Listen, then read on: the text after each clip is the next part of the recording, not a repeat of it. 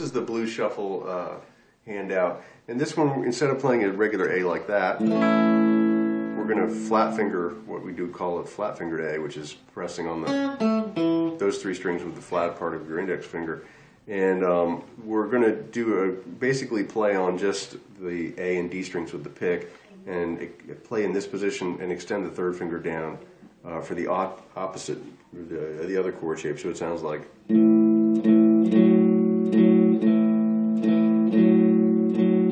Count, it sounds like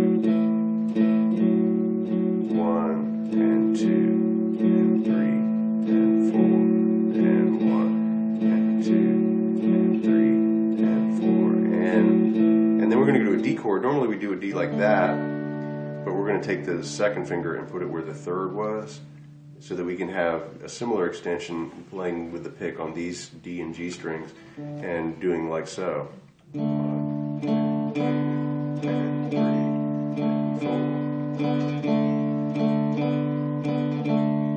then we'll go back to A, moving back to the thicker pair of the strings. And then we're going to go to the E chord, which is like your regular E is this, but we're going to just press down on the D and the A strings and do, and with a pick, just play the bottom two and do our finger extension on the A string like this.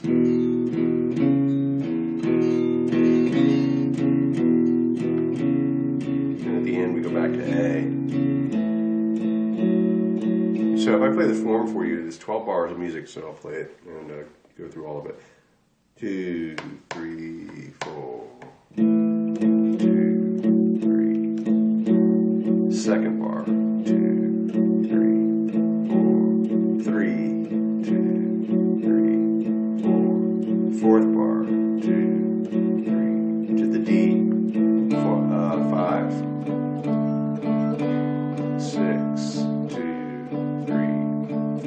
A. Seven, two, three, four, eight, two, three.